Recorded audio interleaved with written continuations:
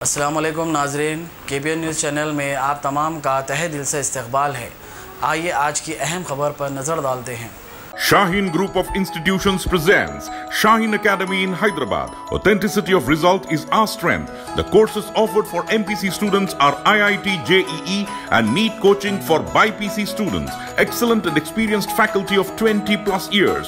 Disciplined, clean and good hostel campus for the students.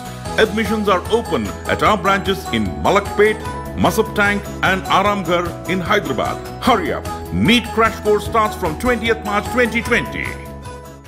Chairman Telangana state Haj committee Mohammed Masiullah Khan ने social media के ज़रिए अवाम को गुमराह कन propaganda और इतलात की तरदीद की। वो आज दफ्तर तेलंगाना स्टेट हज कमेटी नामपल्ली में मीडिया के नुमाइंदों से बात कर रहे थे। उन्होंने वजाहत की कि हज 2020 के मुतालिक सोशल मीडिया पर वायरल वीडियोस व दीगर इतलात बेबुनियाद हैं। उन्होंने मजीद बताया कि ताहाल सऊदी हुकूमत या मरकजी हज कमेटी की जानब से कोई इंस्ट्रक्शंस इस मौजू पर मौसू नहीं हुए हैं। इस तरह की इतलात पर मुतल जिम्मेदारों से रब्त करें। चुनाचे व्हाट्सअप फेसबुक पर गश्त करती इतलात को उन्होंने सरे से खारिज कर दिया। उन्होंने ऐसे अफराद को जो इस तरह के झूठे प्रोपगंडे कर रहे हैं, रियासती हुकूमत की जानब से उनके खिलाफ एफ़ आई आर दर्ज करवाने की बात कही। उन्होंने आजमीन को यकीन दिलाया कि हज दो हज़ार बीस की खिदमत मामूल के मुताबिक जारी हैं।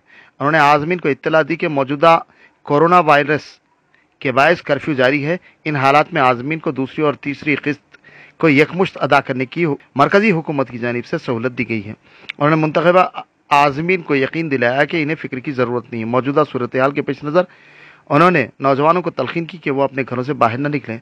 हालात की मुनासिबत से पुलिस की जानब से सख्तियाँ बरती जा रही हैं। उन्हें साहिब खैर हजरात से अपील की कि वो अपने महलों में गरीब अफराद की दादरसी करें। उन्होंने मजीद तफसीत से वाकिफ करवाया। 2020 माने 2020 के हज के ताल्लुक से जो भी सोशल मीडिया पे वायरल इन्फॉर्मेशन जो चल रहे हैं कि हज इस साल का कैंसिल हो गया करके, जो कि बिल्कुल गलत बात है। अब तक कोई अथॉरिटी सऊदी की या सऊदी काउंसिल वाले हज काउंसिल वाले अब तक कोई हमारे को ऐसी इन्फॉर्मेशन नहीं दिए कि ये साल का हज कैंसिल होने वाला है करके। मैं आप लोगों से गुजारिश करता हूँ, जो भी ऐसे अफवाहें फैला रहे हैं, पहले उस चीज़ को सही तरीके से आप मालूम कर लीजिए। उसके बाद आप फर्दर इन्फॉर्मेशन या व्हाट्सअप के थ्रू या फेसबुक के थ्रू जो डाल रहे हैं, ऐसे इन्फॉर्मेशन पहले आप मालूम करके करिए नहीं तो हम तेलंगाना स्टेट हज कमेटी की जानब से, तेलंगाना स्टेट के तरफ़ से ऐसे लोगों के ऊपर एक एफ़ करेंगे जो कि ऐसे गलत अफवाहें फैला रहे हैं। और रही दूसरी चीज़, जितने लोग अब तक हाजियाँ हमारे पास से जो ये साल के लिए सेलेक्ट हुए हैं उसमें कोई परेशानी की बात नहीं है। जो भी सेकेंड इंस्टॉलमेंट नहीं पे करे, मैं आप लोगों से गुजारिश करता हूँ कि थर्टी फ़र्स्ट मार्च जो सेकेंड इंस्टॉलमेंट की डेट थी, आप लोग आराम से जब भी थर्ड इंस्टॉलमेंट आएगा, क्योंकि हालात ऐसे हैं, आने वाले 21 दिन तक ये जो कर्फ्यू लगा हुआ है, इसके तहत सेंट्रल हज कमेटी की जानब से हमारे को ये गाइडलाइंस आई है कि आप लोग थर्ड इंस्टॉलमेंट सेकेंड इंस्टॉलमेंट और थर्ड इंस्टॉलमेंट एक साथ आप भरने की आपको इजाज़त दी गई है। इसके अंदर आप लोग परेशानी की कोई बात नहीं। अगर सौ बार खुदा ना खास्ता अगर ऐसी चीज़ हुई, अगर आपका हज अगर इस साल का अगर कैंसिल हो रहा है तो आप लोग जो भी फ़र्स्ट इंस्टॉलमेंट पे करे और सेकेंड इंस्टॉलमेंट पे करे हुए हैं, आप लोगों के पैसे सेफ़ है। कभी भी आप लोगों को सेंट्रल हज कमेटी की जानब से आप लोगों को ये पैसा रिटर्न आ जाएगा।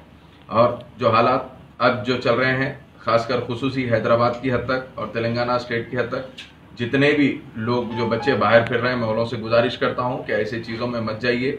अक्सर आप देख रहे हैं, कर्फ्यू का माहौल है, लाठीचार्ज हो रही है। आप अपने महलों में जितने भी लोग हैं, जितने लोग ज़यीफ़ है, जो खासकर डायलिसिस पेशेंट है, ऐसे लोग आप अपने मसाजिद के खास जो रहने वाले हैं, मस्जिदों के करीब अपने महलों में वो लोग जानते हैं कौन आदमी क्या हालात है, कैसे हालात उनके गुजर रहे हैं।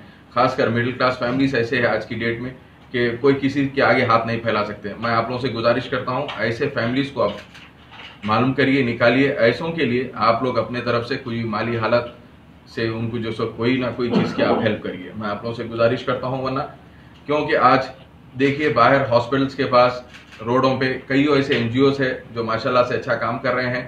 उनको अपने अपने जो जो चीज़ है, अपने जैसा पहुंचाना चाह रहे हैं, वो पहुँचा रहे हैं। मैं आप लोगों से गुजारिश करता हूँ, अपने महल्ले में रहकर खासकर अपने महल्ले के लोगों को आप हेल्प करिए।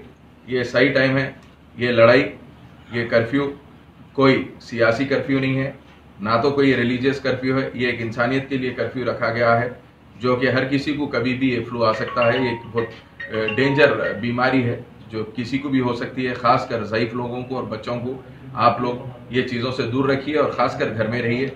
मैं आप लोगों से अपील करता हूँ क्योंकि तेलंगाना हुकूमत की जानब से ऐसे लोगों पे एक से दो बार पकड़े जाने के बाद भी केसेस बुक कर रहे हैं और सीएम साहब का ये ऐलान है कि अगर ऐसा नहीं भी हो करेंगे तो इनके ऊपर पीडी एक्ट भी डाला जाएगा।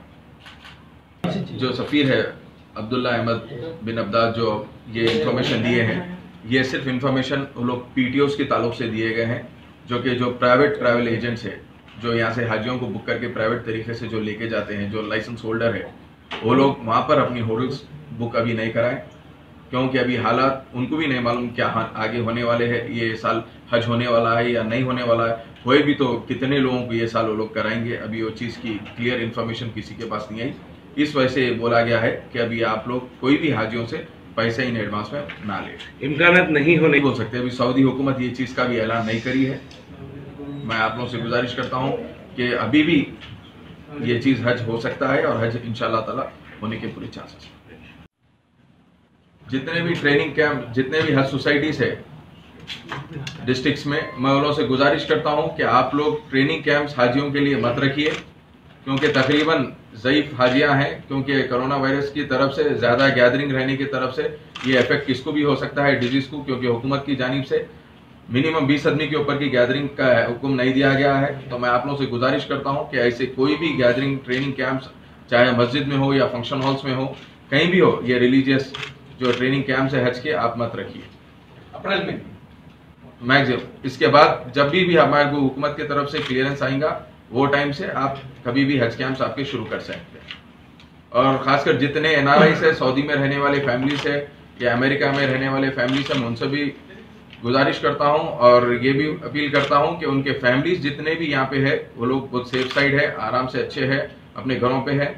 जो भी उनकी, अगर कोई भी चीज़ की, जैसा कि किराना ग्रॉसरी कोई भी वेजिटेबल ऐसी कोई चीज़ की अगर उनको ज़रूरत है तो उनके जितने भी लोग हैं, दोस्त अहबाब है, उनसे सुबह छः बजे से लेकर शाम में छः बजे तक उनके पास टाइम है, आराम से अपने घरों तक उन्होंने भेज सकते हैं। जितने भी ट्रेनिंग कैंप जितने भी हज सोसाइटीज है डिस्ट्रिक्ट्स में, मैं उन से गुजारिश करता हूँ कि आप लोग ट्रेनिंग कैंप्स हाजियों के लिए मत रखिए। क्योंकि तकरीबन ज़यीफ हाजियाँ हैं क्योंकि कोरोना वायरस की तरफ़ से ज़्यादा गैदरिंग रहने की तरफ़ से ये इफ़ेक्ट किसको भी हो सकता है डिज़ीज़ को क्योंकि हुकूमत की जानब से मिनिमम बीस आदमी के ऊपर की गैदरिंग का हुक्म नहीं दिया गया है। तो मैं आप लोगों से गुजारिश करता हूँ कि ऐसे कोई भी गैदरिंग ट्रेनिंग कैंप्स चाहे मस्जिद में हो या फ़ंक्शन हॉल्स में हो कहीं भी हो ये रिलीजियस जो ट्रेनिंग कैंप्स है हज के आप मत रखिए। अप्रैल में? मैक्सिमम इसके बाद जब भी भी हमारे को हुकूमत की तरफ़ से क्लियरेंस आएगा वो टाइम से आप कभी भी हज कैंप्स आपके शुरू कर सकते हैं। और खासकर जितने एनआरआई है सऊदी में रहने वाले फैमिलीज़ है या अमेरिका में रहने वाले फैमिलीज़ है उनसे भी गुजारिश करता हूँ और ये भी अपील करता हूँ कि उनके फैमिलीज़ जितने भी यहाँ पे है, वो लोग बहुत सेफ़ साइड है, आराम से अच्छे है, अपने घरों पे है। जो भी उनकी अगर कोई भी चीज़ की, जैसा कि किराना ग्रॉसरी कोई भी वेजिटेबल ऐसी कोई चीज़ की अगर उनको ज़रूरत है तो उनके जितने भी लोग हैं, दोस्त अहबाब है, उनसे सुबह छह बजे से लेकर शाम में छह बजे तक उनके पास टाइम है। आराम से अपने घरों तक उन्होंने भेज सकते हैं। ए वन टाउनशिप की एक और नई पेशकश, जहांगीर पीर दरगाह से दो किलोमीटर पहले मल्टीनेशनल कंपनीज़ के करीब जो कि बिल्कुल बिल्कुल बिल्कुल आबादी से लगा हुआ। बेंगलोर हाईवे से सिर्फ़ साढ़े पाँच किलोमीटर। बीटी रोड से लगा हुआ तमाम डेवलपमेंट के साथ पाँच लाख पचास हज़ार में सौ गज का प्लॉट। एवन टाउनशिप में आपका ये छोटा सा इन्वेस्टमेंट आपका और आपके बच्चों का मुस्तकबिल बदल सकता है। आज ही तशरीफ़ लाएँ और ए वन टाउनशिप के इस प्रोजेक्ट से फ़ायदा उठाएँ। Office at pillar number 235 opposite fisheries department Rajendra Nagar Hyderabad. अगर आपने हमारे चैनल को अभी तक सब्सक्राइब नहीं किया है तो यहाँ पर रेड कलर का सब्सक्राइब बटन दिख रहा है। उसे क्लिक करें और हमारे चैनल को सब्सक्राइब कीजिए। और साथ ही साथ बेल आइकन को भी क्लिक कीजिए, जिससे आपको ताज़ा ताज़ा अपडेट मिलती रहे।